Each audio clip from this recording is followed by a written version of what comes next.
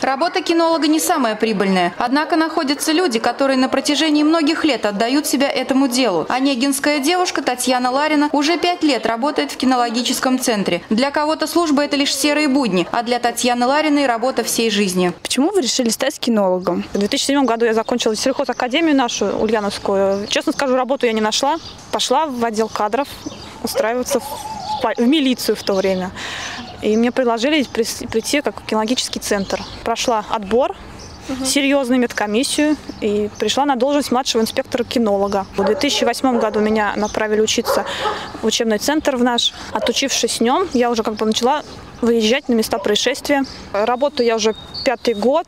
Э, Сейчас пошла на повышение, получила на должности начальника общероссийского профиля и звание младший лейтенант полиции. Прихожу на работу к 8 часам, провожу развод, когда если ответственный по центру. Проводим инструктаж по технике безопасности, по знанию закона о полиции обязательно, технике безопасности автотранспорта у водителей и работы с кинологом по местам происшествий. Занимаюсь собаками, плюс у меня еще человек, который мы подготавливаемся к соревнованиям. Соревнования у нас в этом году будут проходить э, в Туле. Вот я занимаюсь с Дьяченко Анной.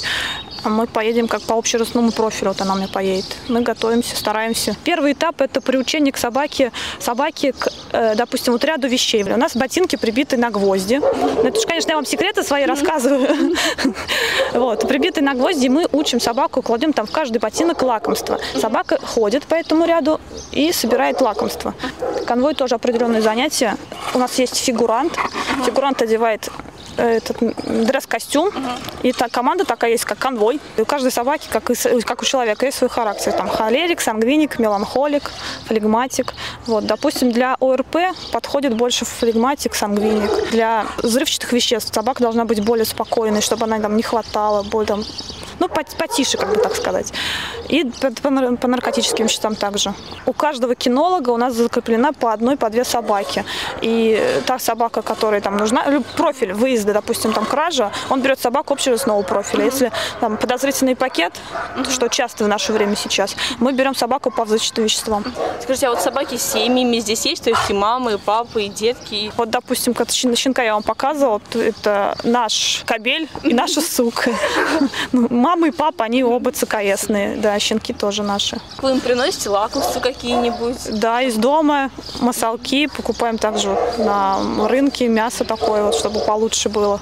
Лучшей категории. Дни рождения, как же у них есть. Все мы помним. Последний день рождения у меня Сампик получил печеночный тортик. А есть ли какие-нибудь суеверия, связанные с собаками?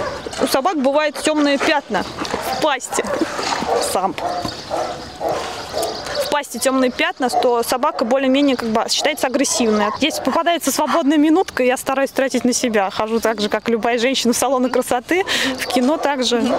А так большинство все время с собаками, потому что с ними это... У животных нет выходных, они не понимают, почему хозя- хозяин пропал и не приходят.